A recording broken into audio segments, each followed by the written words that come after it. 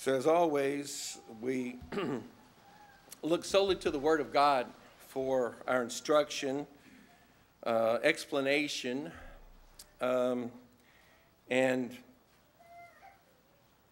that is the only authority we have, ultimately, is the Word of God. And because it is the Word of God, it is it is written that we might understand, but we know that we cannot fully grasp the things of God. He is incomprehensible. And I really love the last hymn that we sang, speaking of some of these aspects of God and, and the realities of, of what He is. but we've been looking at trying to have a sense of, of what God is like over the last few weeks, the nature of God. And we will begin moving towards some of the attributes where God then exercises these things. And we've talked about that God is self existent. He has always existed. He was not created. There has never been a time, if you could say there is such a thing as time outside of this world, that, uh, that uh, uh, God is sovereign. Uh, and uh, He is Lord over all things, uh, even the weather. Praise God for that. But, but um, we talked about his self existence and, and to try to have a sense of this, this God who has always been, that everything proceeds from him, everything owes its existence to him. There was a time when he was alone in the three persons of the Godhead, that only he existed. So we're seeing him as being self existent, as being self sufficient. He had no need. He did not create out of need. He didn't say, Well, I'm, I'm lacking something, therefore I'm going to create. He said he created out of his own good pleasure to display his glory, that God is completely self sufficient in himself. We can neither add anything to nor take any way, anything away from God. We have ultimately really no effect on God. God is completely holy. We talked about that last week, that, that He is he is completely distinct from us. He is not like us. He is in a category all of his own that, that he, um, he does not share that fully with anyone. There is no one who can be as God. There is nothing that competes because, again, everything came from God, all creation, every aspect of it. And in that holiness, he is absolutely perfect and pure and without any stain that that he is absolutely righteous. And so, in, in thinking about who God is and what his nature is, and to try to have some sense of what God is like, we come to something that, that I think is, is really a cornerstone for us to, to, to do our best to get a hold of. And that is because of all these things that God is, He is the absolute ruler over everything. There is nothing that can compete with God. He is completely sovereign. Sovereignty just simply means supreme authority or power. It's the right to act and it's the power to carry it out. So a true sovereign has both the right or the authority and he has the power to carry out what his office says that he can do. And in God's case, this is not theoretical it's actual because there will be people who have the authority or the right, but they don't always have the power. And there are people who have power in the world, but they don't necessarily have the right or the authority to act on that. But God is sovereign. He is the supreme authority and He is the supreme power. He completely rules over everything. So the scripture verse, Psalm 103 19, tells us that the Lord has established his throne. So he is the one who made it, he established it, he determined this I am God. He sits on a throne, which obviously represents rule and authority, um, kingship, the head of all things. All things bow before that throne. So he says, it says that the Lord has established his throne in the heavens, his sovereignty rules over all. So we might just think, so what is all? Well, all is all, and that's all all means. But all, he rules over all. He is the supreme authority, and he is the supreme power. That is really, is really nothing that can contest that. And what's what we saw in Psalm 2 as we looking at looked at those who, who would rise up against him and, and want to throw off his, his the fetters and the, the restraints that, that God would place on them. So, what is the position, first of all, that God holds? Where do we see his sovereignty and his rule over everything? Well, first of all, we look at him as creator. He is sovereign in all of creation. And Genesis 1 tells us that, that in the beginning, God created the heavens and the earth. So when there was such a thing you could call the beginning, he was already there prior to that. It was his idea, it was his genius, it was his creative power that brought everything into being. so no matter how grand a scale it might be, into the, the outer reaches of the universe, or whether it goes down to molecular biology and the, the smallest details, the atoms, the molecules, the, the tiniest particles of existence of everything that is, God is the one who made that. He is the only one who understands it. He's the only one that has the right to rule over it. All of creation is God's because there was a time when there was not, and God said, Let there be, and everything came in to existence. So, first of all, he is sovereign over all creation. He's the owner of it, he is the governor of it, he's the one who can say what is and what is not. Besides being just the creator of it, he's also the sustainer of the universe. You know, there is a this fairly popular at the, the time of the foundation of, of America.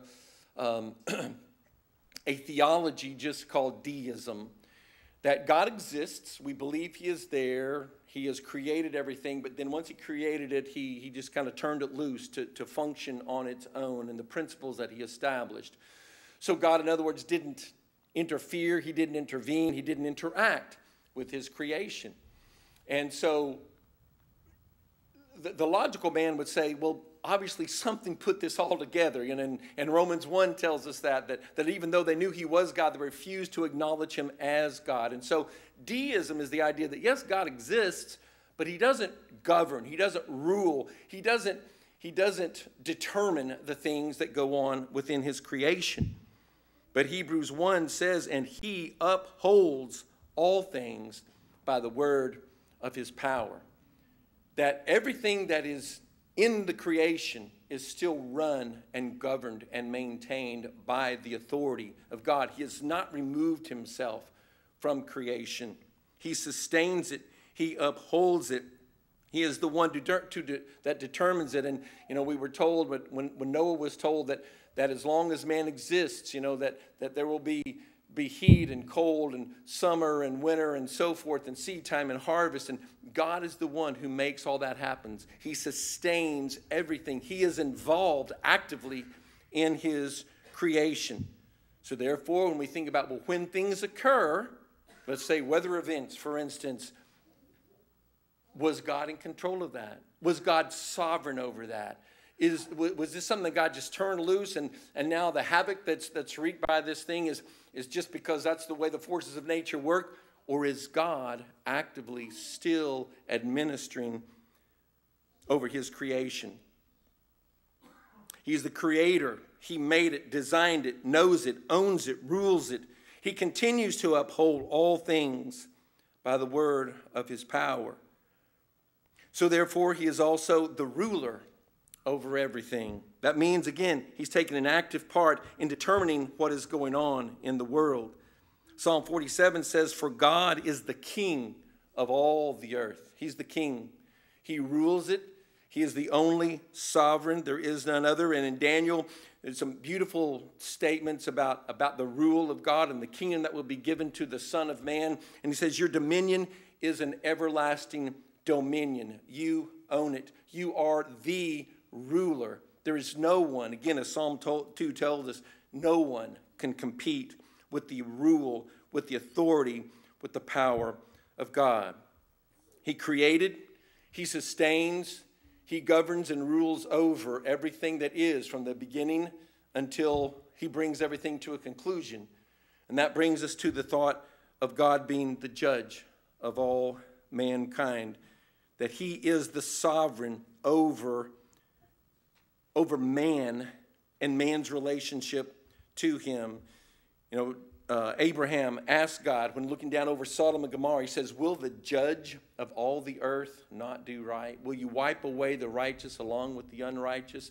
And, and Abraham continued to ask, Well, what if there's 50? What if there's 45? What if there's 40, 30, 20? And, and God said, Yes. But God is still the judge. And when he could not find even one righteous besides Job, I mean, besides uh, Lot, he destroyed the city. He is the judge. He will bring all things to a conclusion. Everyone has to answer to God. Hebrews 9 tells us that when it says it's appointed for men to die once, and then after this comes judgment. Judgment of what? Judgment based upon what? Judgment by whom? By God Himself. In fact, by Christ. He is the ultimate judge. And everyone will be judged according to the deeds that they carried out in the flesh. And there is no creature hidden from His sight.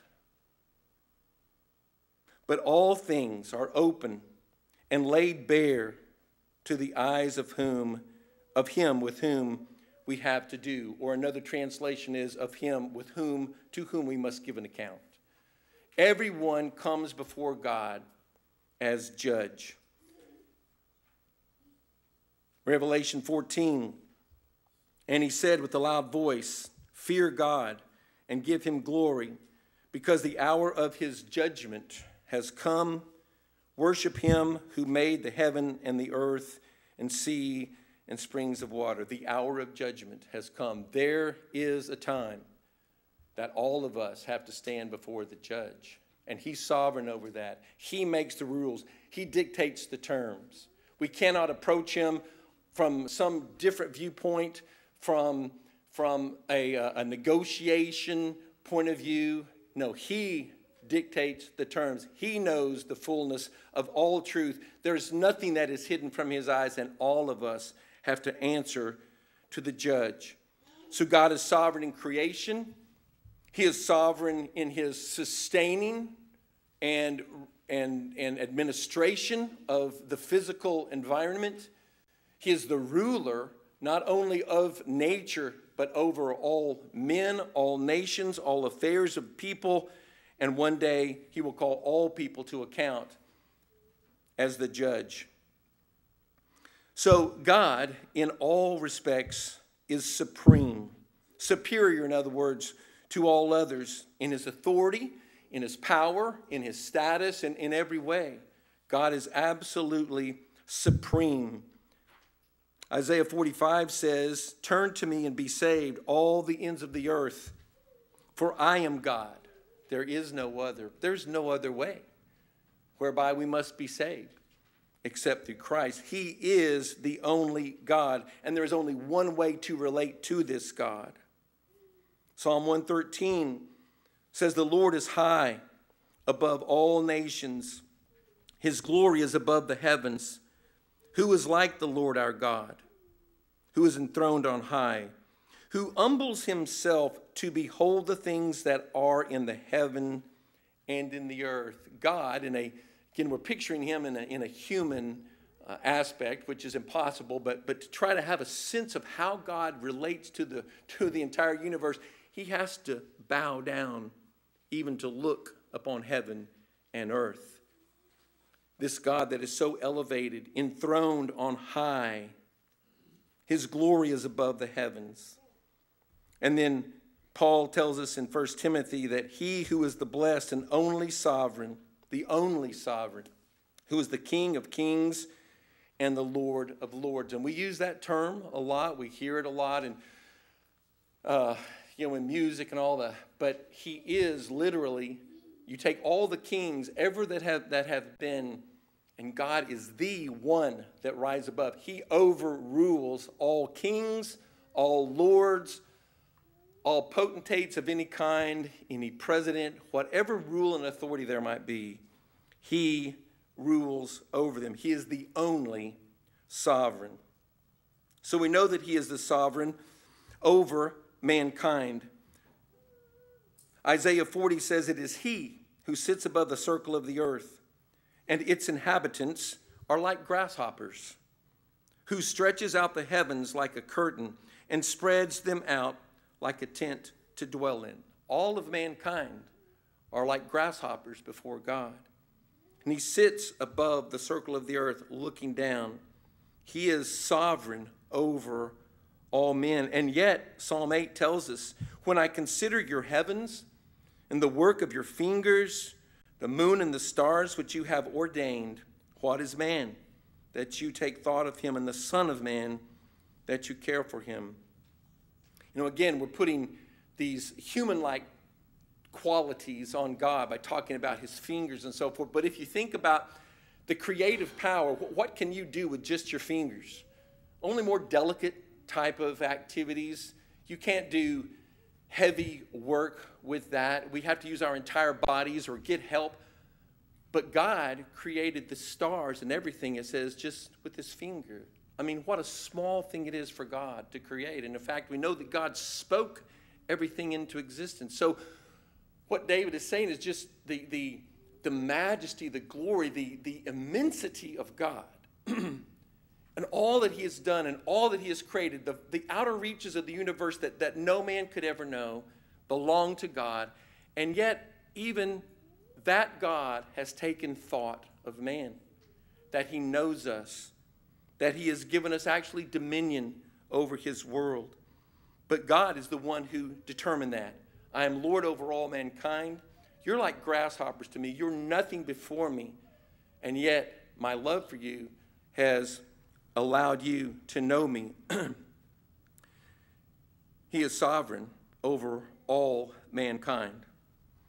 He's sovereign over kings and nations. As we've already seen, and Daniel 2 says this says, Let the name of God be blessed forever and ever. For wisdom and power belong to him. It is he who changes the times and the epochs. He removes kings and establishes kings. Who is in control? Who directs the affairs of nations, of, of governments, of empires? God removes kings, He establishes kings. He changes the times, the epochs, the periods of history that we look at. God is the one who has orchestrated that. He is the absolute sovereign over any organized form of, of life that man can come up with. All civilization, all governments, there is nothing that man can do corporately that God still does not oversee and overrule according to his good pleasure. And Isaiah 40 says, Behold, the nations are like a drop from a bucket, a bucket with one little drop in it. That's what a nation is like. That's what a people group, that's what an empire is like before this God. One drop from a bucket. And they're regarded as just a speck of dust on the scale that you could not even see the scale move in the slightest by putting a speck of dust on it. And yet it says that the nations are regarded as no more than a speck of dust on the scales. And behold, he lifts up the islands like fine dust.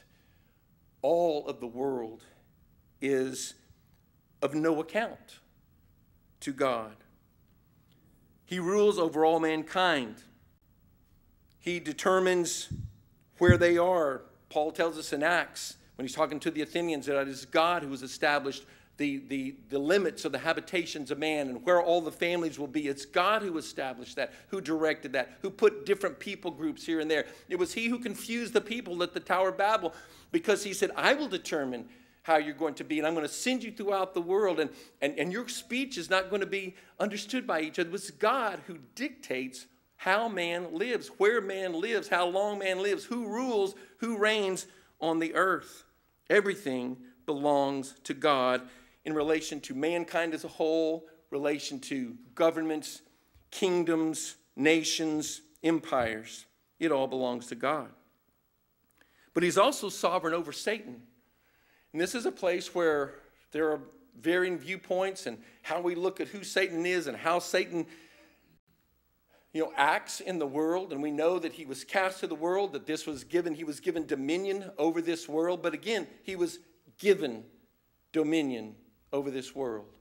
It still doesn't belong to him. He does have a dominion and he has a right. And he even told Jesus that uh, in the wilderness, he said, If you'll bow down to me, I will give you these kingdoms because they are mine to give. That he has some authority. He does rule to some extent, but he is underneath the power and the authority of God. Martin Luther said, The devil is still God's devil. The devil is not independent. He does not have authority to do as he wants to do. He is still under the authority of Christ. In Luke 22, right before the crucifixion, Jesus said, Simon, Simon. Uh, and anytime you repeat something, it's really serious. And how many times did he say, Verily, verily, or, or so forth? So he's calling, and, and he said that to Martha. Martha, Martha is like, really want to get your attention. He said, Simon, Simon, behold, Satan has demanded permission to sift you like wheat. So Satan comes, he wants to get Peter. Obviously, he knows the position that Peter has with the disciples and, and, and, and the type of personality and whatever it might be about Peter. He wanted Peter, he wanted him. But he had to get permission. And Christ gave Satan permission to sift him. And we know what happened. He denied him three times.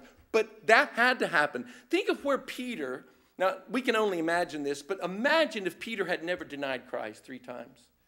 What would he have been like? What would his personality, what was his sense of, of, of self confidence perhaps have been? He needed to be broken, he needed to be humbled. And yet Christ uses Satan, who wants to destroy him. Let Satan have him for a period of time. But he says, But when I have prayed for you, but I have prayed for you. And when you are restored, strengthen your brothers.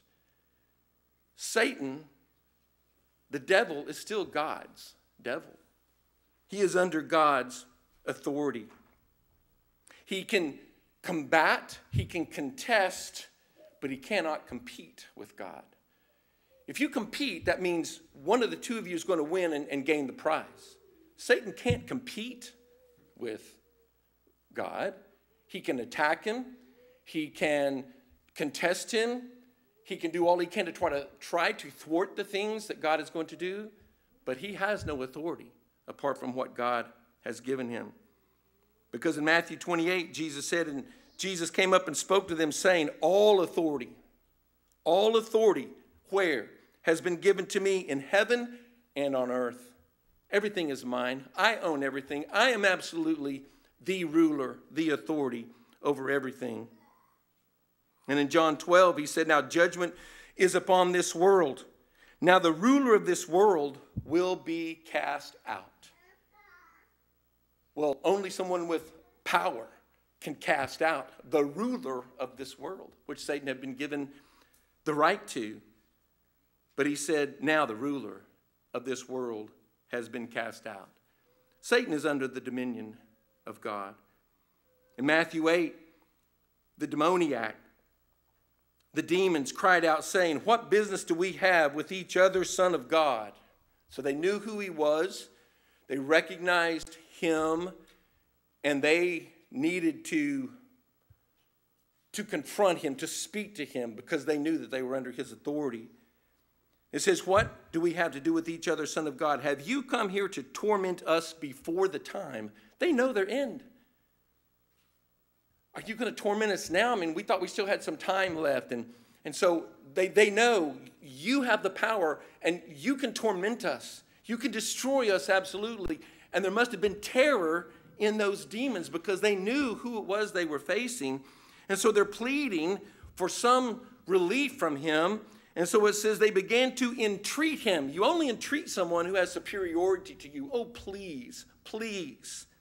They're entreating him, saying, If you are going to cast us out, you, with all authority to do what you want, then send us into the herd of swine. How did they get there? Because Jesus said, Yes, I allow it, I permit it. I, it's not the culmination of time yet. You aren't, I'm not here to, to bring final judgment on you but I still have authority. You will come out of him, and yes, you are permitted to go there. Everything at the permission of Christ. 1 Corinthians And then comes the end, and he hands over the kingdom to the God and Father when he has abolished all rule and all authority and power. Who? Christ. He abolishes the rule, the power, the authority, whether it be of man, whether it be of an angelic beings. All power is abolished when the end comes. And who is the one that does that? It is Christ. And then lastly, in Revelation 20, and the devil who deceived him, deceived them, was thrown into the lake of fire and brimstone, where the beast and the false prophet are also, and they will be tormented day and night forever and ever. In the end, Satan is completely subject to Christ, and he will be judged, and he will be cast into the lake of fire. There is no hope for him. Satan is completely under the authority of God. He had to get permission to do what he did to Job. Satan has much more power than you and I, but he's under the control and the authority of God. So God rules over mankind. He is sovereign over all kings, all nations, all empires, all governments, all people groups. He controls all things of a spiritual nature, and Satan is subject to what God dictates that he can do and will eventually be completely judged and cast into hell. God is, and I love the word that we use, Almighty. He is Almighty God. He is all powerful God. There is nothing that can stand before God. He is the absolute ruler, the absolute authority the one who has dominion over all things. But our God is in the heavens, He does whatever He pleases, Psalm 115 says. So then, looking back at some of those significant things that Psalm 2 told us, why are the nations in an uproar? It's like, don't they know? Don't they know who they're dealing with? Why are they in an uproar? What do they really think they can do? And why are the peoples devising a vain thing? Doesn't matter what you do, you can't contest God. It will be vanity for you to do so. It goes on to say that the kings of the earth they take their stand and the rulers take counsel together against the Lord and against his anointed Christ saying let us tear their fetters apart and cast away their cords from us we don't want their rule let's just cut the cord break the chains throw off the authority of God. No, we rule ourselves. We are the ones who are in control.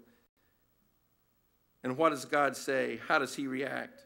Verse 4 He who sits in the heavens laughs, the Lord scoffs at them. Then he will speak to them in his anger and terrify them in his fury. I will surely tell of the decree of the Lord. What is a decree? It's an, it's an, uh, an official declaration of what will occur. And God has decreed certain things. And He has stated, this is how it's going to be. There's nothing you can do, no appeal you can make. Speaking to the anointed one, it says, And you shall break them with the rod of iron, you shall shatter them like earthenware. Now, therefore, O kings, show discernment. Come on, think rationally. He's saying, think rationally. Look at who you're dealing with. Show discernment. Take warning, O judges of the earth. Worship the Lord with reverence and rejoice with trembling, and do homage to the Son, that he not become angry and you perish in the way. That's going to be the final result for those who stand against the Lord, because it says his wrath may soon be kindled. But how blessed are all those who take refuge in him. You can either stand before God's wrath or you can stand under his protection. And the only way we can stand under his protection is through Christ. There is nothing that man can do, there's nothing that man has to say before God. So God is sovereign over all these things, and he's sovereign in all of history. Again, Daniel 2 said, He is the one who changes times and he changes epochs. He removes kings and establishes kings. All of history is under the control of God. I like something that we were listening to yesterday, talking about history or reading yesterday, that, that history is not circular. And although certain things occur as we've seen in the past, history is linear. History began at a particular time and it will end at a particular time, and God is in control, in control of that whole timeline. Everything is under His administration. Isaiah 46 says, Remember the former things long past, for I am God. There is no other. I am God, and there is no one like me. And here he says, declaring the end from the beginning. And from ancient times, things which have not been done, saying, My purpose will be established, and I will accomplish all my good pleasure. He didn't just say, I know the end. He says, declaring the end from the beginning. He's the one who is, makes the determination of what man does, what he doesn't do, how far man's control is extended. His purposes, he says, will be established, and I will accomplish all my good pleasure. So God not only created the stage, and again, it's not just a deist mentality that, okay, here you go, do what you will, nature do what you will, man do what you will. No, God not only put people on the stage, but He is the one who has really written the script. It combines man's will, obviously, that man makes decisions on his own, has certain rights and privileges, but it's still under God's ultimate direction. In the Baptist Confession, it says this God's providence, and that word, of course, providence means God's actual oversight and determining what's going to happen. It means provide, see, before, is what those two words, pro and vide, mean. So, in God's providence over sinful actions does not occur by just simple permission. Instead, God most wisely and powerfully limits and in other ways arranges and governs even sinful actions. We'll look at Joseph. Joseph, you know what he told his brothers at the end of all of that? He said, What you meant for evil, God meant for good. And when he said use the word meant, he meant predetermined. He is the one who not just somehow allowed that to happen. No, he meant it. He determined it. You meant it for evil. You're evil. That was evil. It was wrong. It was sin. And yet God used your sinful actions for his ultimate purposes.